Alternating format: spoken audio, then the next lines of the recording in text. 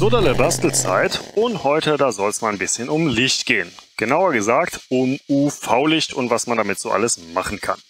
Wer in der Physik oder meinen LED-Videos ein bisschen aufgepasst hat, der weiß ja schon, dass Licht am Ende nichts anderes ist als elektromagnetische Wellen.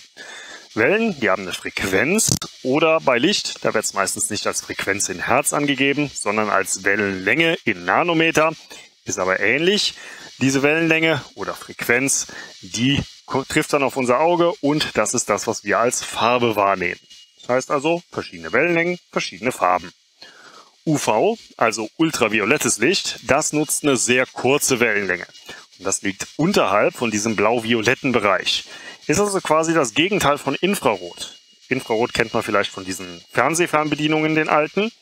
Und Infrarot und UV haben erstmal auch so was gemeinsam. Sie sind nämlich außerhalb vom sichtbaren Bereich. Das heißt, wenn wir drauf gucken, können wir nichts sehen. Aber gibt dann doch noch einen wichtigen Unterschied. UV hat nämlich deutlich mehr Energie dahinter und das ruft ein paar interessante Effekte hervor. Recht bekannt dürften die sogenannten Schwarzlichtlampen sein. Die werden hauptsächlich genutzt, um fluoreszierende Stoffe anzuregen. Kennt man zum Beispiel aus irgendwelchen Einkaufszentren oder so, wenn da jemand mit der Lampe sitzt und Geldscheine prüft, das ist sowas. Aber auch im Deko-Umfeld sind die zu finden, zum Beispiel wenn ihr mal in der Disco oder sowas wart und weiße Stoffe irgendwie seltsam glühen. Das ist dann Schwarzlicht, also UV. Oder zumindest eine Art von UV, denn UV ist nicht gleich UV. Diese ganzen Deko- und Prüflampen, die sind fast immer relativ nah an diesem violetten, blauen Licht dran genauer gesagt zwischen 380 und 315 Nanometer. Den Bereich, den nennt man auch UVA. UVA, das kann zwar prinzipiell dafür sorgen, dass man ein bisschen braun wird und hat bei längerer Bestrahlung auch ein gewisses Risiko für Hautkrebs, ist aber ansonsten eher harmlos. Wir wissen aber ja, wer A sagt, der muss auch B sagen. Es gibt dann entsprechend auch ein UVB. Das geht von 315 Nanometer runter bis 280 Nanometer und das ist schon ein bisschen heftiger. Der macht zwar doch mehr braun, aber hat auch ein deutlich erhöhtes Krebsrisiko und greift auch direkt das Gewebe an. Und die Folgen von diesem direkten Gewebeangreifen, ja, ich glaube, die kennen wir alle. Das ist nämlich der gute alte Sonnenbrand. Wenn wir die Wellenlängen jetzt noch kürzer machen, dann kommen wir jetzt schon langsam in den Bereich, wo dann Röntgenstrahlung oder später Gammastrahlung anfängt. Aber kurz davor, da ist noch was, nämlich UVC. Das ist zwischen 100 und 280 Nanometern und ist extrem energiereich. Dieses Licht ist in großen Teilen, wie heißt es so schön, mit dem Leben nur mäßig vereinbar. Hauptsächlich, weil die Energie, die da drin ist, auf Proteine und Nukleinsäuren treffen kann und die dann aufspaltet. Das heißt also, das Licht zerstört quasi das, aus dem unser Körper besteht. Und bei kürzeren Wellenlängen von diesem UVC-Bereich, da geht es sogar noch weiter. Da reicht die Strahlung nämlich sogar aus, um in der Luft den Sauerstoff auseinander zu bombardieren. Das heißt also, der Sauerstoff zerfällt in elementaren Sauerstoff.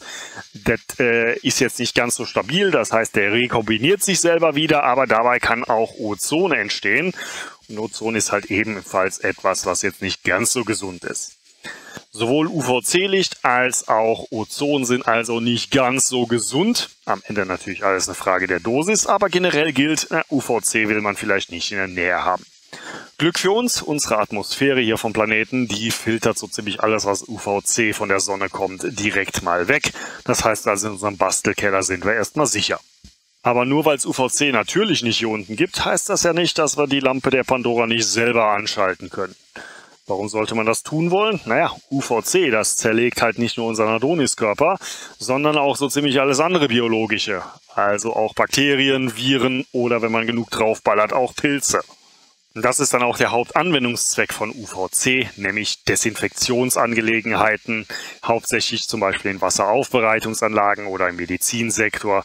Da läuft das Ganze dann unter dem Begriff UVGI, ausgesprochen Ultraviolet Germicidal Eradication oder auf gut Deutsch ultraviolette Bestrahlung zur Keimtötung. Jo, ähm, dabei muss man natürlich ein bisschen aufpassen. Wie gesagt, Licht ist böse. Das heißt also, in den meisten Fällen ist das Ganze in geschlossenen Geräten eingebaut, sodass man davon nichts sieht. Auch wenn es halt schön leuchtet. Also, holen wir uns doch mal so eine UVC-Lampe, oder? Ja, nein auch technisches UVC jetzt nicht ganz so einfach. Wie gesagt, das greift ja so ziemlich alles an und dieses alles schließt halt auch Plastik, Gummi oder viele andere Materialien ein, aus denen wir normalerweise Dinge bauen.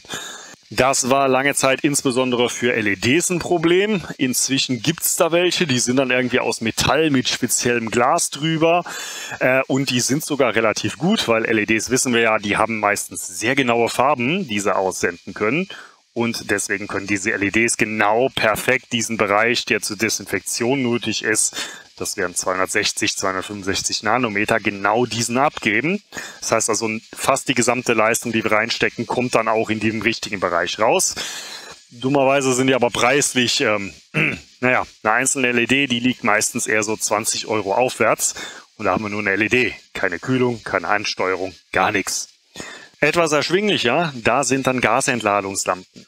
Die sind zwar was hässlicher anzusteuern, weil da braucht man relativ hohe Spannungen von ein paar hundert Volt, aber ist im Prinzip eine ähnliche Technik wie eine Energiesparlampe und naja, dafür gibt es ja auch schon Ansteuerungen. Ne? Was man im Hinterkopf behalten muss, die sind meistens ein bisschen breitbandiger. Das heißt also, die sind nicht nur in diesem Bereich, der gut desinfiziert, sondern gehen auch zum Beispiel in den Bereich, der auch Ozon erzeugt.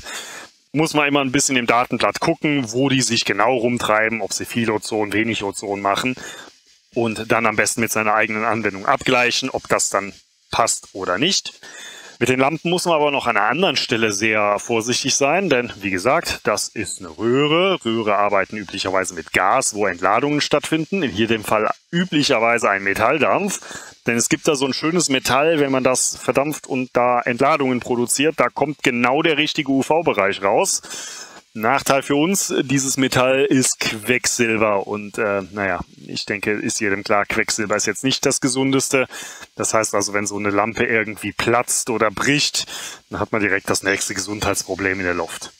Wenig überraschend ist so eine Lampe jetzt hier bei mir auf dem Tisch gelandet. Die hier, die ist nicht so ideal für das, was ich vorhabe. Hat eine sehr kurze Wellenlänge, macht also relativ viel Ozon und hat wenig direkte Desinfektionsleistung aber es müsste für meine Zwecke noch ausreichend sein und sie lag halt gerade noch hier rum. Zur Lampe, da gehört dann noch ein passendes Treiberboard, denn hier so kriegen wir das nicht ans Laufen. Das sieht hier so aus. Wir sehen schon die Beschriftung, 5 Volt, das dürfte dann klar sagen, was denn hier ran soll. Auch sonst äh, Out-In, da kann man nicht ganz so viel falsch machen, zumal halt der Stecker auch nur an einer Seite passt. Aber wollen wir doch erstmal verstehen, wie das Ganze hier funktioniert, denn wie wir sehen können, viel ist hier nicht drauf. Denn die einzigen Komponenten, die wir hier haben, sind die einen Ausgangsdinger, ein Trafo in der Mitte und ja, wahrscheinlich eine Spule, die hier sitzt. Auf der Rückseite haben wir noch ein bisschen mehr, aber auch nicht ganz so viel. Wir haben drei Kondensatoren, zwei Widerstände und zwei Transistoren. Das war's. Mehr ist hier tatsächlich nicht da. Mehr braucht es aber auch nicht wirklich, denn äh, ja, man äh, ist jetzt hier nicht ganz so genau. Wir haben hier die 5 Volt, die reinkommen mit einem Kondensator zum Filtern. Von da aus geht es dann über die Spule, die wir hier oben haben, auf den Trafo drauf. Und wir sehen schon, der hat hier auf der einen Seite sehr viele Windungen. Das sind einmal drei Windungen, die zusammenhängen, also äh, eine Windung mit einem Mittelabgriff und einmal eine Windung, die komplett durchgeht. Die mit dem Mittelabgriff, bei der Mitte steht dann unser Plus müsste es sein dran. Die beiden äußeren Seiten von der Windung werden jeweils über die Transistoren gegen Ground gezogen, wenn Bedarf ist. Und diese beiden Transistoren, die brauchen natürlich noch eine Basis. Und das läuft dann so ab, wenn wir den Strom einschalten, kommt auf beide Basen hier Strom drauf. Einer schaltet aber zuerst an, zieht dann entsprechend die eine Stelle hier runter von der Hauptentwicklung hier. Dadurch wird wiederum Strom in diese äußere Windung eingekoppelt und zwar sozusagen rückwärts. Das äh, sorgt dafür, dass der Transistor, der gerade durchgeschaltet hat, seine Basis verliert und im Gegenzug der andere angeht. Und so schwingen wir dann die ganze Zeit hin und her, kriegen dadurch natürlich auch eine AC-Spannung und AC ist ja das, was so ein Trafo braucht. Und ja, der hat dann ein entsprechendes Windungsverhältnis, kommt auf der Gegenseite hier hinten raus, auf den beiden Pins hier oben und unten und die liegen dann hier am Ausgang an. Einziger Unterschied hier ist noch ein Kondensator drin, einfach um DC zu blocken, sodass wir wirklich nur AC-Spannung hinten rauskriegen. Wie gesagt, müssten ein paar hundert Volt sein, das ist so das, was ich erwarte. Und theoretisch können wir dann damit hier die Lampe zum Leuchten bringen. Praktisch werde ich mir jetzt erstmal eine andere Kamera holen und mich in Sicherheit begeben, bevor ich hier irgendwas anschalte. Denn ähm, ich will gar nicht wissen, wie viel die Leistung hier die Lampe hat. dürfte ein paar Watt haben und äh, das möchte ich jetzt vielleicht nicht direkt in den Augen haben. Also langes Kabel dran, das Ganze in einen anderen Raum verfrachtet und ich habe jetzt hier noch eine Pappkiste drum, dass auch in dem Raum nicht direkt meine ganzen Geräte hier bombardiert werden. Und ja, das sieht doch schon mal gut aus. Wir sehen diesen typischen Cyan äh, ja, glühen. Ist ein relativ dunkles Licht. Warum? Naja, das hier ist halt nur so ein Abfallprodukt. Das sichtbare Licht, was wir jetzt hier haben, das ist nicht das, wo die Hauptleistung rauskommt. Wie gesagt, UV ist für das menschliche Auge ja nicht wahrnehmbar. Was die Leistung angeht, ich sehe jetzt bei 5 Volt etwa 400 mA, das wären 2 Watt. Jetzt kann man natürlich davon ausgehen, dass der Treiber nicht unbedingt effizient ist. Also ich würde so schätzen, 1 Watt, vielleicht 1,5 wird am Ende die Röhre hier haben. Und wie schon gesagt, auch davon geht nicht alles in UV rein, erst recht nicht in die Bereiche, die desinfizieren. Also, nee, überschaubare Leistung, aber das heißt nicht, dass sie nicht wirkt. Ich habe jetzt hier in diese Papppackung mal ein Salatblatt reingemacht und ihr seht vielleicht, ich habe das so noch teilweise in so eine schwarze Plastikfolie eingepackt. Das heißt also, hier wird nur ein Teil vom Salatblatt bestrahlt. Also, klingt gut, machen wir die Lampe mal wieder an und lassen das Ganze jetzt mal so, keine Ahnung, Viertelstunde ungefähr stehen. Und nach der Viertelstunde ja, ich glaube, man kann deutlich erkennen, dass da definitiv nur ein Teil bestrahlt wurde. Wenn wir hier gucken, der untere Teil deutlich dunkler, der obere Teil sieht im Prinzip noch aus wie ein Salatblatt. Und wenn wir hier auch mal auf eine Stelle näher rangehen, da sieht man schön die Linie, wo entsprechend das Plastik dann dran war. Und das ist genau dieser Effekt. Rechts, wo bestrahlt wurde, sind die Zellen angegriffen, teilweise zerstört. Links ist alles noch normal.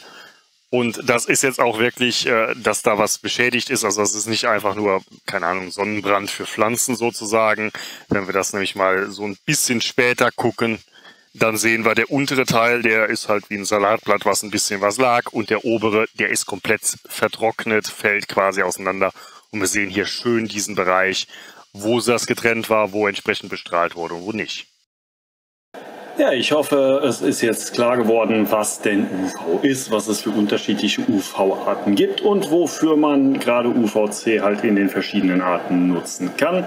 Wie gesagt, das hier ist eine Dual-Lampe, die macht sowohl UV-Strahlung zum Abtöten als auch theoretisch Ozon, wobei ich jetzt nicht wirklich viel messen konnte.